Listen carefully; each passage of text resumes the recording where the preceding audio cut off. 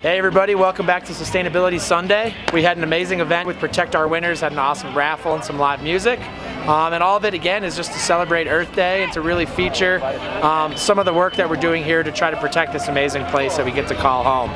Uh, we just released our 2018 brand new annual sustainability report that is available on our website and definitely go check that out. We are also rolling out a brand new program here called the Snow Huggers Club uh, where for $30 you have the opportunity to offset all of your travel emissions to and from the ski area for the entire season through the Colorado Carbon Fund, as well as support a number of local environmental projects here in Summit County through the High Country Conservation Center. Uh, to top it all off, you get a number of exclusive and pretty awesome discount coupons here at the mountain.